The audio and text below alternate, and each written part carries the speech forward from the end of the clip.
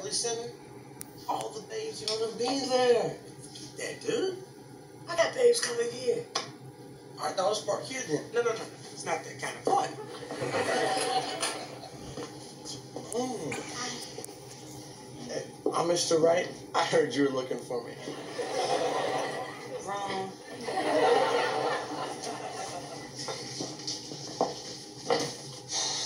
Sorry. He's been sacked one too many times. So, uh, What are you reading? Another Country by James Baldwin. Oh, really? I'm into him too. You ever read The Fire Next Time? Actually, it's one of my favorites. You know, I wonder if there's any Baldwin in here.